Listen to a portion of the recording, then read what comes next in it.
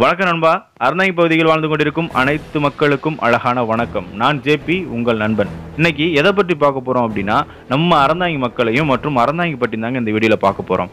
பழகிப்பார் பாசம் தெரியும் பகைத்துப்பார் வீரம் புரியும். நீங்களும் அறந்தாங்கிக்காரங்க அப்படின்னா கண்டிப்பா கேளுங்க எல்லாருக்கும் அனுப்புங்க. அறந்தாங்கி பாண்டிய சோழ அரசுகளில் எல்லையில் இருந்த ஊர். இங்கு கோட்டைகள் கிடையாது. நாட்டை குறிக்கும் எல்லையாக பெரிய அரண் போன்ற சுவர்கள் கட்டப்பட்டன. அதனுடைய சிதல்கள் எப்போதும் அங்கே காண கிடைக்கிறது. அரண் பிளஸ் தாங்கி என்ற அறந்தாங்கி என்று அழைக்கப்பட்ட ஊர் மருவி இப்போது. அறந்தாங்கி என்று மாறிவிட்டது. அது மட்டும் கிடையாதுங்க.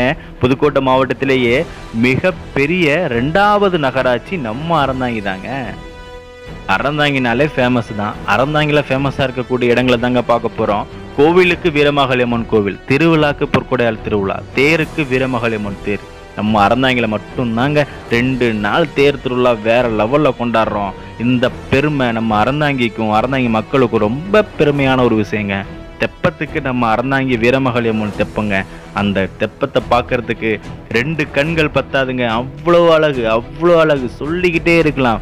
பிரம்மாண்டத்தின் உச்சம்ங்க நம்ம தெப்ப திருவிழா. குதிரை எடுப்புக்கு நம்ம கூத்தடவேலையனார் கோவில். பள்ளிவாசலுக்கு பெரிய பள்ளிவாசல் சர்ச்சுக்கு சிகேஆர்சி. அப்படியே விளையாட்டுக்கு வந்தோம்னா வடமாட்டுக்கு கலப்பக்காடு பந்தயத்துக்கு வைரவையல் மைதானத்துக்கு பிஎஸ்எல் டவர் பார்க்குக்கு காந்தி பூங்கா காப்பகத்துக்கு நமது இல்லம் சந்தைக்கு வாரச்சந்தை மீனுக்கு கட்டுமாவடி இன்னும் சொல்லிக்கிட்டே இருக்கலாங்க.